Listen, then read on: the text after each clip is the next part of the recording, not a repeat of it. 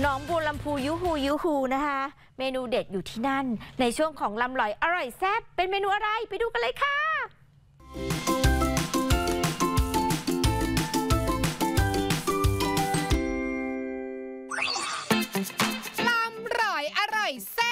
นี้พาไปชิมข้าวห่างจีบองเมนูหาทานยาก มีเฉพาะที่บ้านสุขสำราญตำบลฝั่งแดงอำเภอนาการจังหวัดหนองบัวลำพูเท่านั้นนะจ๊ะ เพราะชาวบ้านที่นี่รวมตัวกันปลูกเองทำเองจ้าข้าวหางคือข้าวน้ำนมที่แก่ก็จะทำข้าวเม่าแต่ยังไม่สุกพอที่จะเก็บเกี่ยว มีสารอาหารมากกว่าข้าวกล้องนะจ๊ะ เมื่อได้ข้าวห่างมาแล้วก็นำมาตากแห้งแล้วสี จากนั้นก็นำไปต้มกับน้ำกะทิประมาณ 20 นาที พอ สุกก็ปั้นข้าวใส่ไม้ปิ้งด้วยไฟอ่อนแล้วทาด้วยไข่ไก่ เมื่อด้านนอกกรอบหอมเหลืองได้ที่ก็จะผ่าข้าวจี่แล้วยัดเจียวบองใส่เข้าไป เท่านี้ก็แซ่บหลายอย่าบอกใครจ้า ที่แรกเฮาเกิดจากกลุ่มเมล็ดพันธุ์เขาวแล้วหลังจากนั้นเฮาจะมาเฮ็ดข้าวห้างเฮ็ดข้าวห้างอะไรแล้วพอดีมันด่างกันมากก็อยากกิน แบบว่าคนตอบเราว่าอยากกินข้าวจี้ข้าวห้างเสีย เฮาก็เลยเฮ็ดเป็นข้าวห้างข้าวเหนียวมาแล้วเฮามาจี้จี้แล้วแล้วเฮาก็เป็นข้าวจีข้าวหางแก้วบองมันหาหาหากินยากเขาวผู้สิเฮ็ดข้าวห้างข้าวเหนียวข้าวห้างเฮ็ดเป็นข้าวจีนี่ แทบสิบ่มีเลย มีอยู่ประมาณ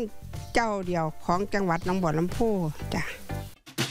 อยากชิมต้องไปที่หนองบัวลำพูเท่านั้นนะจ๊ะทำขายไม้ละ 10 บาท แซบโดนใจแบบนี้ลำร่อยอร่อยแซบขายยกนิ้วให้เลย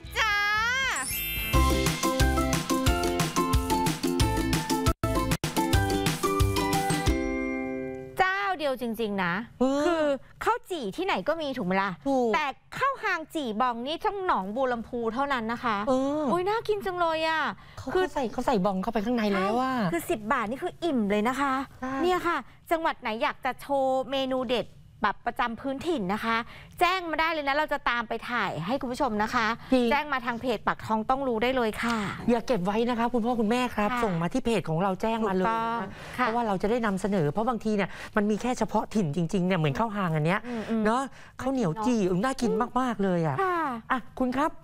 อีกที่หนึ่งผมจะพาคุณไปดูการเลี้ยงควาย ควายเหรอ คุณว่าควายเลี้ยงยากไหม น่าจะยากอยู่นะ แล้วคุณว่าควายกับผมใครเลี้ยงยากกว่ากันอืมสูสีแฮะ เราก็ไม่น่าไปถามช่องในเขาเลย จริงๆ เราไม่น่าเลยเชียว รู้ข่าวไวเข้าใจง่าย กด subscribe ข่าวช่อง 8